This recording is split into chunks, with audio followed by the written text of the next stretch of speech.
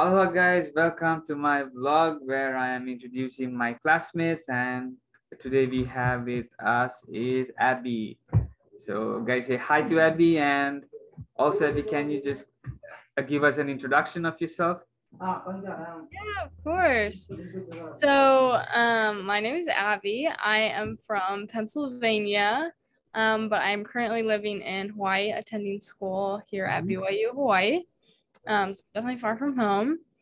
I am 19 and I am majoring in psychology and will be putting school on pause for a little bit um, to serve a mission soon, and then I'll come back and finish up school here. So that's a little bit about me.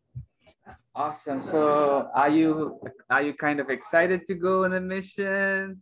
Yeah, I'm Uh, super. do you think like you will end up serving though? You have any, you know, places where you like to go?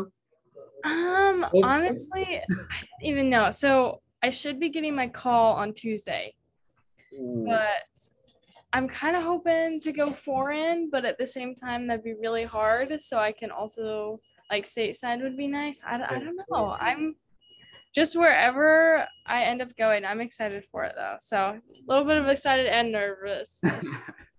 we'll see you on Tuesday. well, hopefully, yeah, we'll see where you, you know, plan to serve on Tuesday then. All right, and then I got a que- I got a question for you. What would you say is your biggest fear in life? Um, I would definitely say so. I have two. Um, one's irrational and one is actually rational. Um, so go with the irrational one. Definitely being eaten by a shark.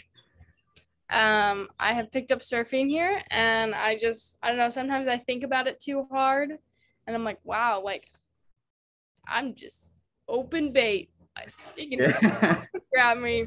I'm a very small person, so it's just like, and I'm gone. oh, So that's very scary, but I mean, chances are very low. The statistics are very low, so I'm good. I it should be good unless I'm a rare, I don't know, case or something.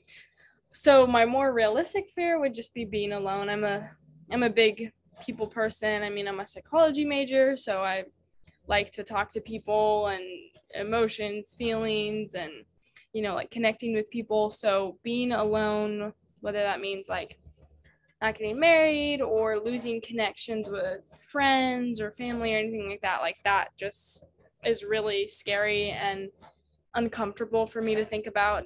It's be very sad, very depressing. So life would be so crazy with no people or friends around. Being Yeah. alone is the worst thing, I guess. Yeah. true.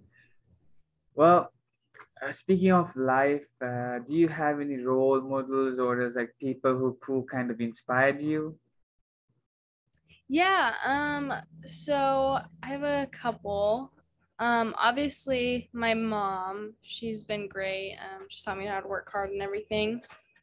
But kind of I, I know, I feel like that's pretty normal to say like your parents. So I'll kind of go out of the norm. But I also have so I'm a dancer and I have a dance teacher who I've worked with for about four years. Well, I've worked with her for a long time in group dances, but I started doing solos with her. So we were working one on one. And she really helped me just kind of like become more of a confident person, um, understand more about who I was, and just kind of go from being like, I don't know, a 14 year old who's kind of shy and scared to like growing into like more so like a woman and being like, okay, I'm confident, I'm sure of myself, like I know what I want. Um, standing up for myself, like all that things like that. So she really helped me just kind of mature. Yeah. Um, and so she's definitely a big role model because I look at her life and I'm able to model after hers to help me mature. So That's awesome, Abbie. Well, thank you for being here with us, like, you know, and then to share your inspiring stories and how you came across. And we are thankful for your introduction too. So, guys, and uh, this is it for today. Adios.